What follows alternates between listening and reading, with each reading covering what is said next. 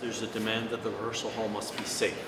I don't want to go and work in a place where I'm not safe. Well, I think that's actually less problematic than people of our generation think it might be, because um, I was the first one to be cynical about inti- intimacy coordinators.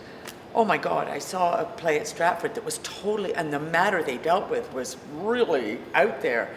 And oh my gosh, it worked, intimacy coordination. So I'm completely on that page. And we've both been in rehearsal halls where there were a really, truly abusive situations. Yes. Right. We have I've had young actors coming to me saying, he stuck his tongue down my throat. Right. And, and saying to me, is that okay?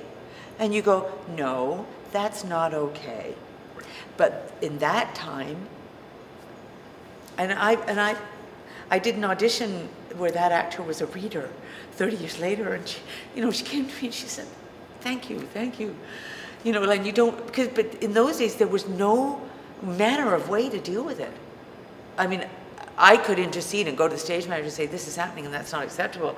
But in, the, in, the, in that time, there was no, there was probably no journey for that stage manager to, to, because that actor was, could basically do what he wanted, right?